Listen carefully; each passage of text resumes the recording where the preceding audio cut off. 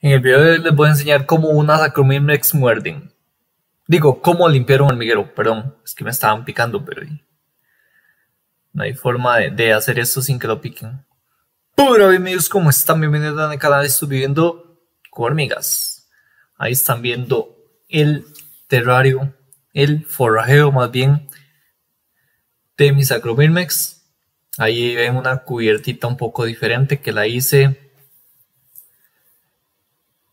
y así es como queda. Se quita muy muy sencillo, da mucha oscuridad y no, es genial, la verdad, se me ocurrió y pues ahí quedó. Ahora vamos a ir viendo un poquito más de cerca. Primero vean cómo está el, hormiguero de mis Acromyrmex de sucio. Eso es lo que vamos a limpiar. Yo lo limpio como cada 15 días, cada mes. Ahí las ven desde cerca. el hongo ha crecido muchísimo y ellas han crecido mucho más en cantidad.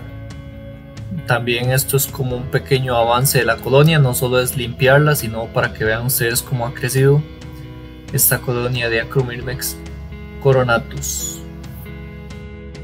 La verdad ha sido bastante sencillo cuidarlas, simplemente tenerles un buen nivel de, de humedad y aquí ya las ven más de cerca, el hongo está lo que le podemos decir floreado, eso blanco que lo ven ellas una vez que cortan hojas, las apilan, las bueno, las preparan, ya saben, ellas las cortan, las mezclan con excremento, con saliva, las pegan ahí junto con el hongo, él va creciendo, llega un punto en donde él florea ya se alimentan y además se alimenta la reina y las eh, larvas de ese hongo.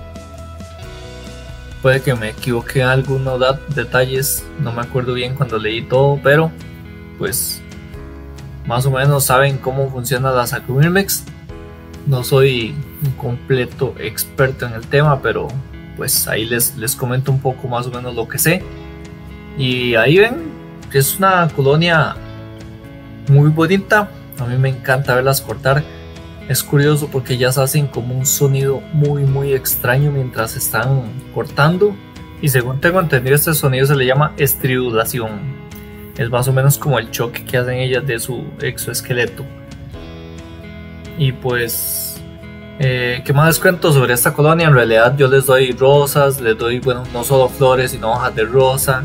Algunas veces también les doy, pues cuando tengo hojas de papa. Eh, he visto que cortan ciertas hojas, pero yo hasta les doy y no quieren. Así que voy a tener que ir a donde yo he visto muchas colonias de Acromyrmex coronatus para ver qué tipo de hojas les gusta porque realmente se me ha hecho un poco complicado más que rosas. También ese cuando les doy polen tengo que probar con avena y ahora pues vamos a limpiar. Este es el proceso por el que hice el video. Quería mostrarles un poquito.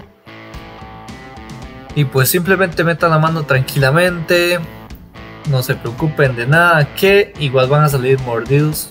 Ahí ven. Fueron muchas que me mordieron. Y si ellas son fuertes para cortar hojas, tienen que sentir esas mandíbulas mordiendo. Ahora, una cosa, ninguna hormiga salió herida mientras hacía este video. Una aclaración muy importante. Como ven que yo las estoy restregando, no, no las estoy restregando me las estoy quitando un poquito, pero no las estoy apretando. Además de que ellas tienen un exoesqueleto fuertísimo. Créanme, ellas son muy fuertes. Hasta yo cuando me las quito, hasta que siento como las espinitas de, del mesosoma donde me las clavo en los dedos. Pero ustedes tranquilos que yo no maltrato ni una sola amiga y mucho menos los voy a matar.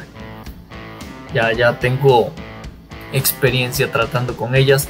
Ahora, otro detalle, muchas personas me dicen, o van a decir quizás, oye, no le metas la mano, si va, tocas el hongo lo matas. Yo me lavo las manos antes de hacer esto. Me las lavo con agua y jabón, jabón antibacterial. Ya luego me lavo todavía más con el agua para quitarme completamente el jabón. Ahora para los que han visto más videos sobre, sobre cortadoras de hojas, no sé si conocen la tienda de Anstor de Alemania, esa gente literalmente agarra el hongo a pedazos, lo saca, limpia el recipiente y luego devuelve el hongo pedazo por pedazo al recipiente donde la tienen. Así que muchas veces creemos que estas hormigas son súper delicadas, pues déjenme decirles que no lo son. Realmente son muy resistentes, siempre y cuando no sé, obviamente no vamos a tener las manos sucias y vamos a meterlas ahí porque estamos tratando con un hongo que alguna bacteria le pueda hacer malo. Pero realmente este proceso, como les decía, yo lo hago cada 15, cada mes y nunca he tenido ningún problema.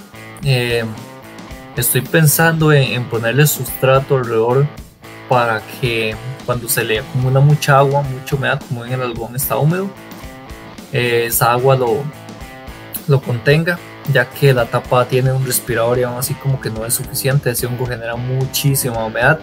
Otro detalle es que si ven, ya yo no les tengo el tarrito con agua, el hongo ya es autosuficiente para generar humedad dentro de ese espacio.